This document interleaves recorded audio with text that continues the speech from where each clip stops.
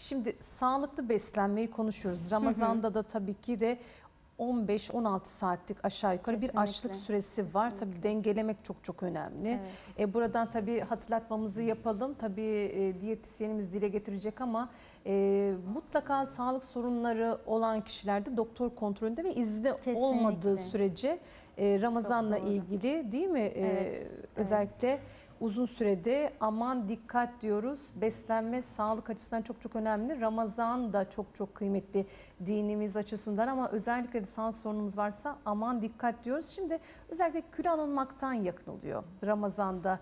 Ee, ben kilo almadan nasıl atlatabilirim? Özellikle Ramazan'da kilo verebilir miyim diye gelen sorular var. Biz de konu uzmanına hemen soracağız. Özellikle Ramazan'da nasıl beslenmeliyiz ve uzun bir sürede kilo almak ee, o sofranın zenginliğinde ister istemez olabilir mi? Dengeli beslenme yaparsak kilo almadan da geçirebilir miyiz diye soralım. Kesinlikle. Öncelikle şöyle e, Ramazan ayı aslında e, dinimizce çok güzel bir ay. Fakat Çok. biz bu ayı maalesef ki sofraları donatmakla Evet, geçiriyoruz ve her akşam e, çok kalabalık iftarlar, çok kalabalık sofralar, çok fazla yemek yaparak bu ayı geçirdiğimiz için Ramazan sonunda ah ben kilo aldım aslında diye çıkabiliyoruz.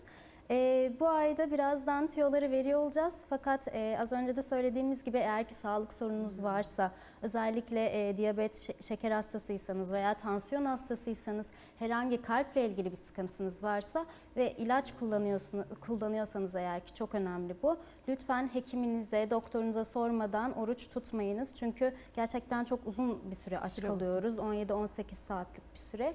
Bu yüzden hekimlerine mutlaka e, danışarak tutsunlar. Ve bu ayda evet kilo da verebiliriz eğer ki doğru beslenirsek, iftarımızı ona göre yaparsak, sahuru ona göre yaparsak kilo da verebiliriz. Gayet e, tüm danışanlarım şu an ona göre biz e, yazıyoruz aslında, oruca göre yazıyoruz listelere iftar ve sahur şeklinde.